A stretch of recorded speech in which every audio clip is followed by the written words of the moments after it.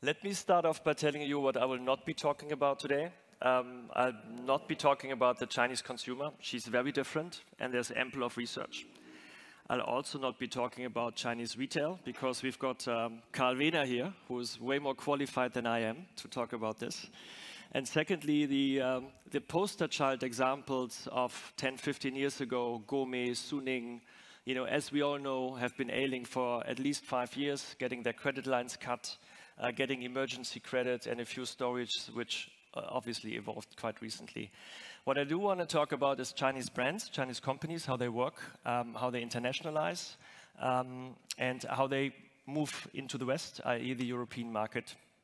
And allow me to be a little bit provocative given uh, the little time we have available. Let's start off, um, cut to the chase with a few hypotheses, and I try to tackle each one of them um, one by one um, in the next 20 to 25 minutes.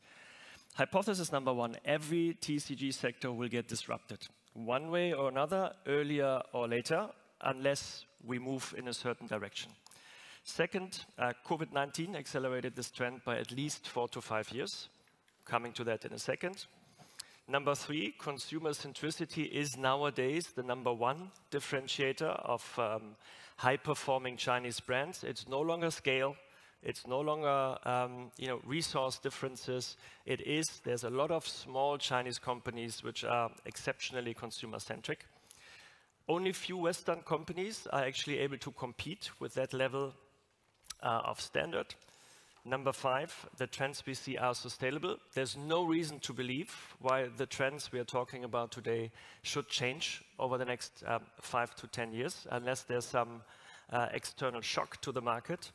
And last but not least, you need to double down your efforts to stay relevant, which is a direct consequence, obviously, of, uh, of number five.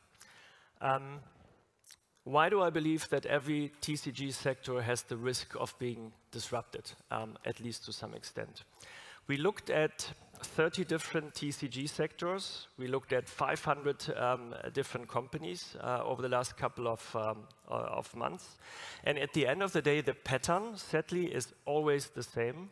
Um, disruption comes in, wave, in waves, and there's different uh, you know, timings of these waves. But at the end of the day, the pattern we see uh, when it comes to market share changes seems to be pretty, uh, pretty much the same there is, and this is for domestic China to start with, there's lost battles. Um, we are all aware of what's happening in the mobile phone industry. Back in 2010, you know, Nokia, a few others owned China with, uh, you know, 87 to 90% market share. Now it's Huawei, it's Xiaomi, it's Vivo, and it's a few others. Lost battle, minus 85% market share. There's current battles, MDA, SDA, brown goods, Many of you are expert in these, uh, in these categories anyways. Um, many of these subcategories have been in the strong hands of local players from the start, um, whether it's rice cookers, whether it's aircon, but what you do see is from a lower base, these international brands, which are currently operating in China, um, do suffer and have to fight uh, against some of the examples uh, I'll be sharing with you later on. And there's a few emerging battles in fashion, in cars. We all see this in the news. Um, there's interesting fashion players like Shein, which you have may uh, come across. Nine billion uh, already in size, creating a really hard time for the likes of Zara and H&M. Those guys make zero dollar revenue in China.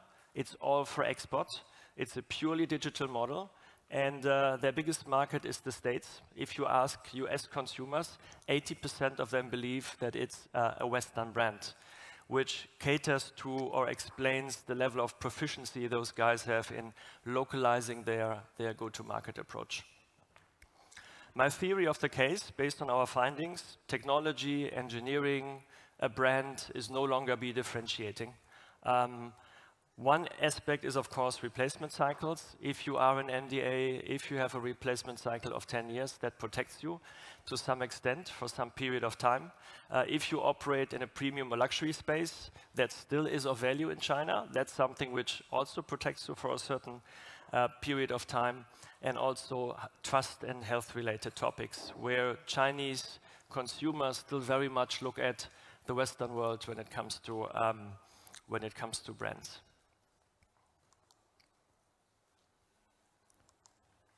Now, what are the key drivers behind this?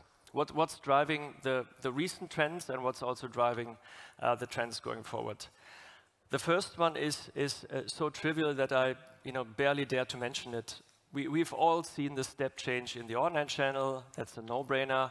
And what creates a bit of a double whammy for us in Europe is that within the online channel, marketplaces are, are kicking in uh, and basically already generate 30% plus of, uh, of the GMV in the online channel. And there's going to be a tipping point, which we all need to be aware of, which is in four to five years when these marketplaces reach about 50% of global GMV. So it's something which cannot be neglected. Um, now, why is this uh, a part of the issue for, for us here in the Western world? Because um, this creates a very fertile ground for these digital Chinese challengers. They are born and raised digital, they already operate with a third, fourth, fifth generation of marketplaces like Deu, Pinduoduo. You, you all know these names.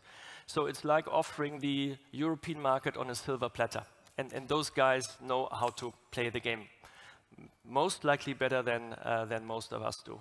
The second issue is for you, for the incumbents, there's nothing you can do about it in the old world, with the old rules, old rules of the game, you can talk to the retailers and have a conversation about whether or whether or not these guys get listed. There's not much you can do about somebody opening a D2C store or opening a presence on a marketplace. And last but not least, marketplace presence is also a quite cheap way uh, of entering a market. Uh, like D2C, if you play it well, it can be 10 to 15 percentage points more profitable. So what's the reason of not entering via a marketplace? Um, and that's, and that's the, the bare truth. Um, what concerns me a little bit whenever I have these conversations about marketplaces, many executives I speak to um, relate marketplaces only to Amazon, not to all the many retail as a service models which are already evolving and the many retailers which are uh, uh, operating retail as a service models. Um, and secondly, uh, there's a huge dynamic around marketplaces in Europe, which I also feel many still neglect. We got folks like Shopee now starting out of Poland, just raising six billion in, in capital, uh, which they have to invest some way or another, and I bet it's going to be on international expansion. We've got folks like Trendyol coming over from Turkey, already operating over here. The key point here is it's a very fertile ground for Chinese challengers, which is, from my point of view, underestimated. And I'm still having a lot of debates whether or not marketplaces are relevant um, in the TCG space. Coming along with this is the second point, price transparency, which creates a bit of a, of a triple whammy here, um, because these players um, are usually pretty good in managing margins, price harmony across countries. Uh, they don't have a, you know, uh, a history, a legacy of um, country silos, MDs being incentivized in a localized way. They don't have all this. Uh, so the typical price gap we see with these players is 6 to 8% um, across European markets, um, whereas typical European players would have area of 30, 40, 50%. I don't know, by the way, if you know this, you know, Hegelson app, um, which um, is out of Spain. It's one of the fastest um, growing apps in this cross-border um, space. It's a consumer app, and you can basically log on and you can look for your brand, your product, and within seconds, it's going to show you the cheapest European price, including logistics cost. And that's what we have to deal with from a consumer point of view. Very easy, and we all know the generation which is uh, basically growing up right now. They are very much used to, to using these tools. Adding to this, brand loyalty is at an all-time low. GfK has published figures two weeks ago. 83% uh, of consumers are open to switching brands. That's an all-time high. So brand is no longer protecting you and your business. And on top of that, after COVID, consumers have become more tech-savvy and have also become way more design-oriented. Which means, taking these points together, consumers will no longer buy the product for the sake of the brand. They will buy the product for the sake of technology and they will buy it for the sake of design, not just because it's a well-known brand. These times are, these times are long over. Last but not least, obviously we are all aware of the infrastructure elements um, uh, associated to, for example, China and Russia. I'm always amazed if you zoom into the Russian market and the, uh, some of the Chinese players there building up uh, factory capacity. You will more often than not find at the obviously western parts of the country factories able to spit out a million to million and a half units for many of these players, and it, it, doesn't need to be a rocket scientist to know that this is not just for the Russian market. It certainly is not. It's, it's pure mathematics. Uh, it's the back of the envelope to know that this is also to serve uh, the rest of the European market. Now, it's not all bad, and I don't want to uh, paint a fully, let's say, dire and negative picture. There's also a few other things which obviously incumbents can do, and, and many of the incumbents are doing already. Um, one thing to watch is the clumsy uh, acronym of uh, VBER, which is, uh, as many of you know, a big European legislation change in antitrust, which is currently being reviewed. It's coming into play from 2022. Obviously, as usual with these legislative changes, nobody yet knows what's really happening, but there is a chance that things like dual pricing will uh, get more degrees of freedom. There's a chance that there are opportunities for black white listing of certain channels beyond a selective distribution approach. Uh, and there's other things which are worth um, watching. VBER sounds very technical. Um, when I did a survey two weeks ago within my team and within some of the um, executives, over 60% didn't know what I'm talking about and have no clue, are not being uh, aware of what's actually happening. So if you are in touch with your legal teams, uh, please ask them about this topic because it can have significant um, implications for your business. And also, and I, I see Hans nodding, it can create a new connective tissue between the suppliers and classical retail because you will be able to reflect the different cost structures of the channels. Um, which is um, which is the key topic here. On top of this, obviously, U.S. incumbents do things like D2C already, joint value creation, and and all these things. Now let's zoom in some to uh, let's zoom in some of the um, examples here. We looked at, as I said, um, uh, 30 different TCG sectors, 500 different companies, and we cut um, magnetic consumer relationships into four different pieces. One being the actual product, innovation, um, and design, digital brand building capabilities, ecosystem play adding to this, and relentless execution. For us, that's the four ingredients to uh, consumer-centric um, uh, activities and magnetic relationships. Example number one. Um, and not every player does everything, but it's enough to be good in two or three of these elements to already be ahead of the game um, for, for, for, many, for many of the, let's say, average number of players here. Number one, who of you recognizes the logo DJI or is aware of the company DJI? May I see a raise of hands. It's about that's about 15 percent. That's not too bad. That's not too bad. Okay, so DJI, um, simply speaking, those guys tick all four boxes from my point of view, and they own one of the most challenging, dynamic, but also attractive markets because they are essentially the market leaders by far with a stunning relative market share in the area of consumer and commercial drones. Many of you may know drones. It's a big hobby. This sector is growing by 18%, 22 billion sector, which means that it will double within the next four to five years. Um, hugely dynamic, hugely complex from a technological point of view. Um, and those guys own the market with 76% uh, of the, of the value. And they protect this against folks from the bottom way cheaper Chinese knockoffs, but also folks from the top. Um, there's a name here which doesn't appear, which is GoPro. GoPro entered this market in 2015. They pulled out three years later, by which time the share price dropped from $70 to $7, where it stayed since then. They tried, they failed, and DJI, up until now, was able to defend this market against everybody else in a, in a, in a, in a pretty impressive way. Now, I mentioned they tick all four boxes. How are they doing it? Um, first of all, it's the product. You will simply, and I was looking hard for examples, you will not find a single product review where they don't come out first. This is from Which? in the UK. where they basically tested five categories, and DJI simply blew everything out of the window, and they won all five categories. Um, how are they doing it? At the end of the day, it's a resource game. They invest 15% of sales in R&D, 800 people, which is a quarter of their full workforce. Um, and these 800 people sit in one location at their headquarters in Shenzhen. That's the simple truth, truth of how they build their products and stay, stay ahead of everybody uh, else. It's a resource game. Secondly, and, and Carl will like this screenshot here. They have a um, very clear D2C approach. They operate their own stores, but they also operate on all marketplaces in a high quality, replicable model with a unified backend.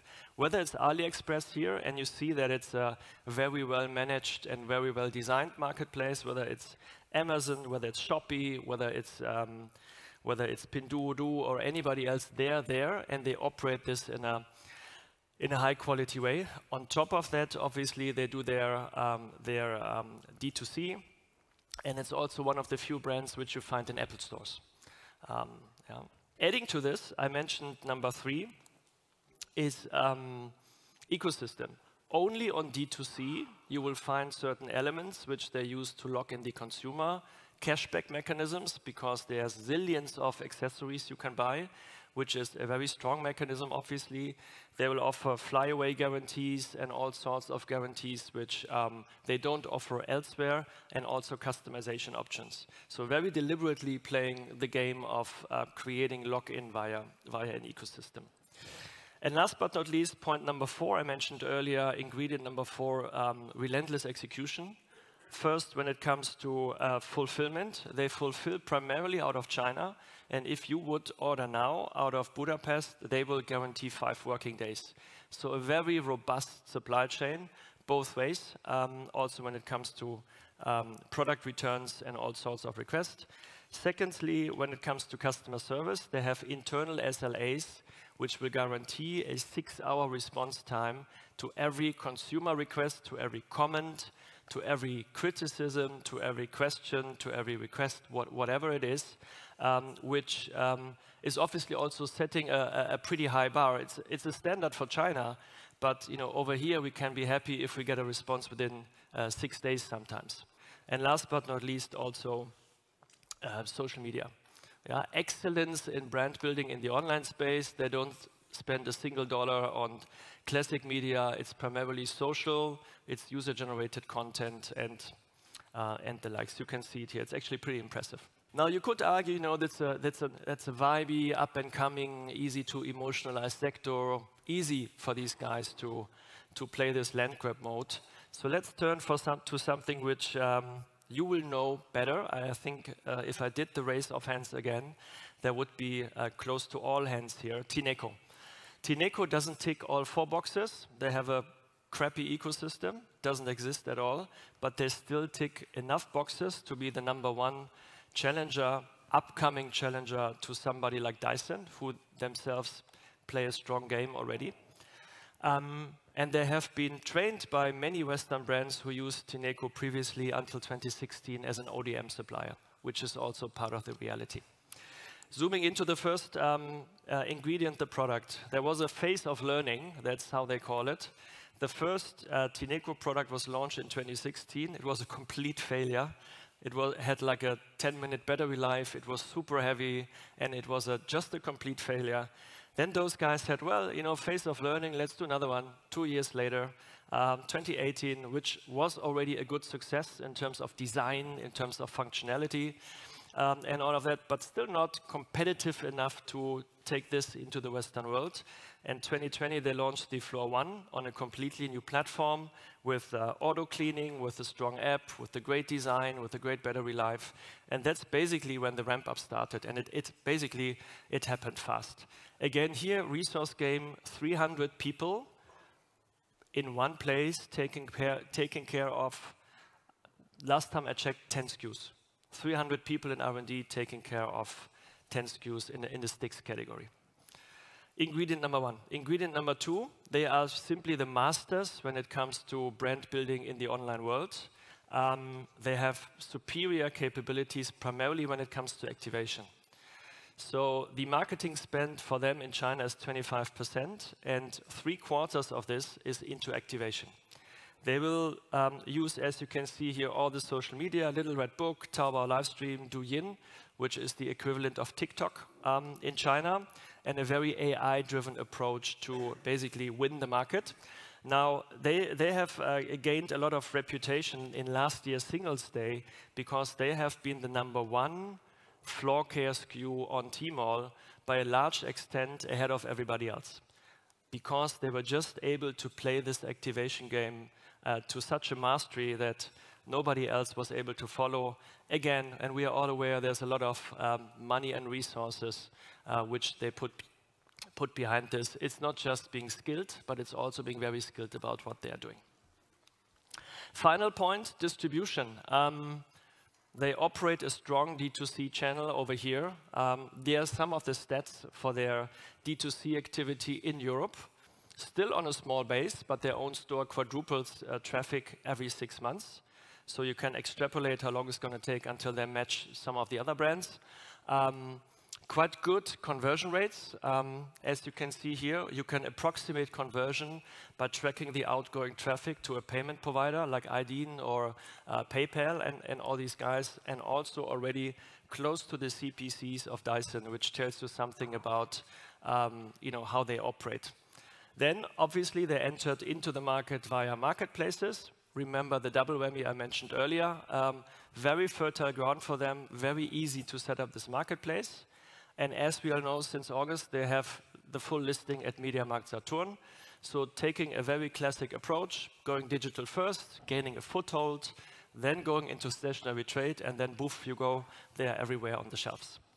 Um, and that's, again, a replicable model with the very same ingredients, uh, as I've mentioned earlier, resource intensity, very skilled digital way of building the business, a very NPS-driven approach, and also everything in-house. They wouldn't outsource a single capability which is needed for consumer centricity.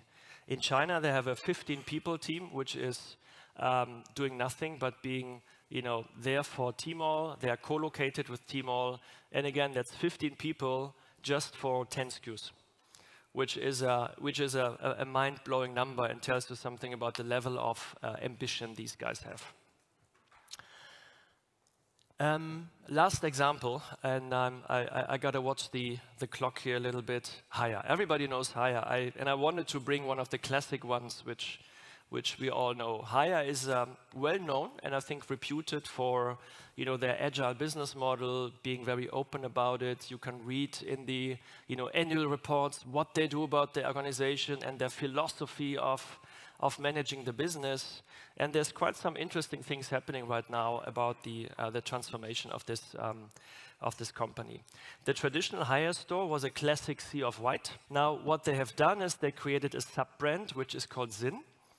SYN translates into something like three-wing bird. And the reality is they do this because they want to move from selling appliances to selling appliances, furniture, decoration, and everything else. Um, and there's a nice picture here on the upper right-hand side, and you also see the logo here, which represents this uh, three-wing bird. Now, why are they doing it? What's, what's the rationale behind this? First of all, they recognize that appliances are always last in the consumer journey. You first do the renovation, you first do the remodeling, you move in, and only then you do the appliances. So what they do is they want to move until the start, until the early end of the consumer journey to get into the consideration set uh, earlier. Secondly, they acknowledge that they somebody like JD is always going to undercut them on price.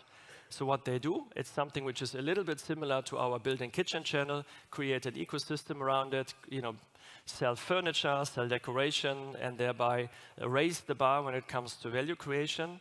And last but not least, you learn more about the consumer, obviously.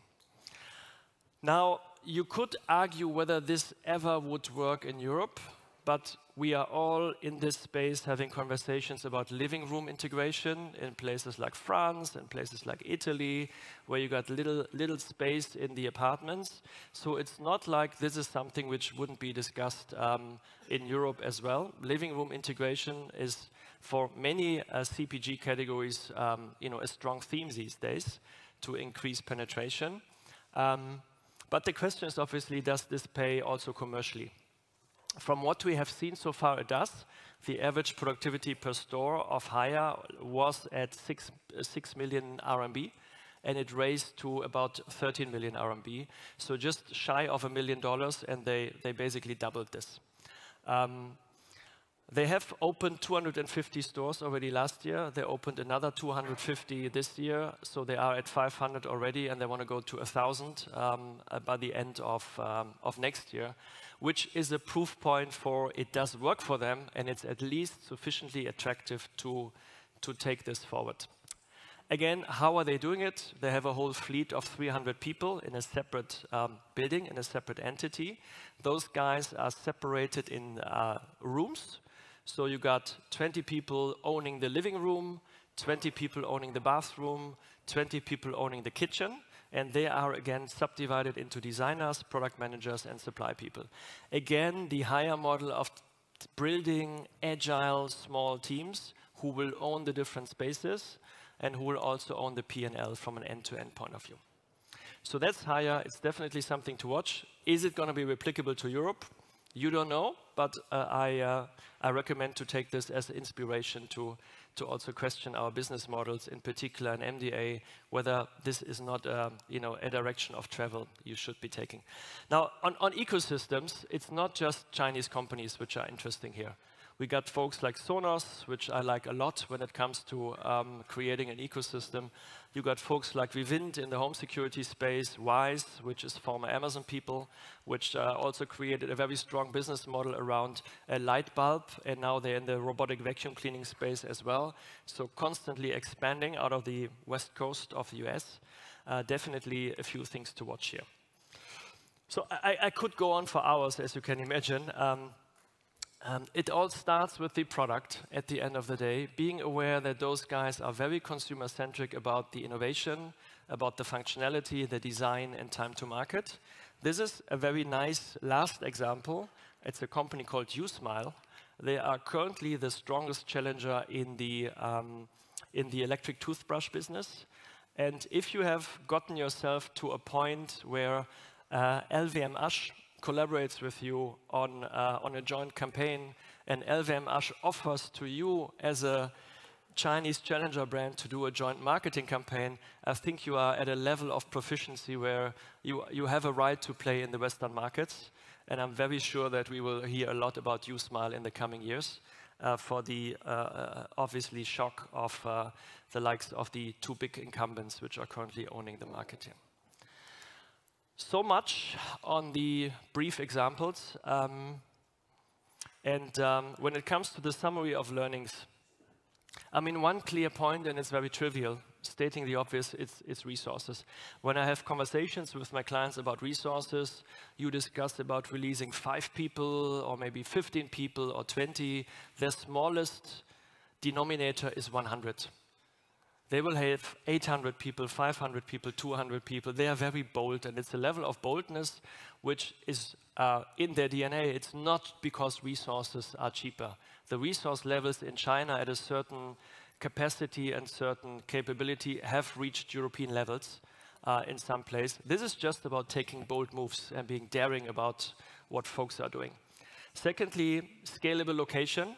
Um, I, um, I tend to say that you know, over there, R&D people are boxed into one big building and just one big building at the head office.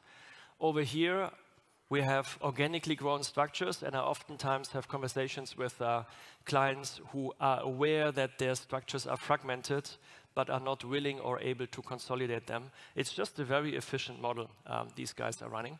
And last but not least, culture. A clear statement when it comes to e-com and D2C first. Um, you know, a very obviously, and that's also part of the game here, a 996, yeah, working hard from 9 o'clock in the morning to 9 o'clock in the evening, six days a week. A very much still command and control way of doing the business. And last but not least, which is also something I, um, uh, I, I had a lot of conversations about, acknowledging also in the TCG space that the product as such is no longer the sole differentiator. Which is difficult because we've got uh, quite a few engineering companies uh, here in this room.